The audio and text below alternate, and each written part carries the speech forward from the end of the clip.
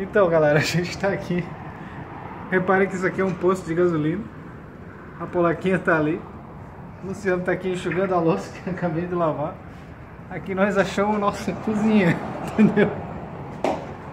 Agora mesmo eu vou desfiar um franguinho que sobrou do almoço na estação de trabalho aqui.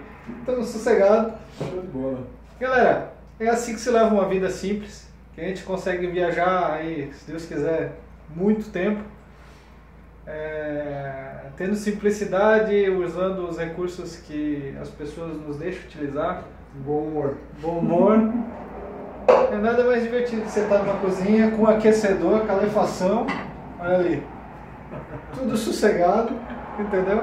Vamos agora aqui desfiar o A franguinho. gente tá rindo, daqui a pouco chega o dono do posto aqui, tá andando desfiando frango na cozinha. Não, sobrou do almoço, vamos lá, né, galera? Mas isso aí, é assim que se vive a vida simples, galera. Acho que o recado é esse.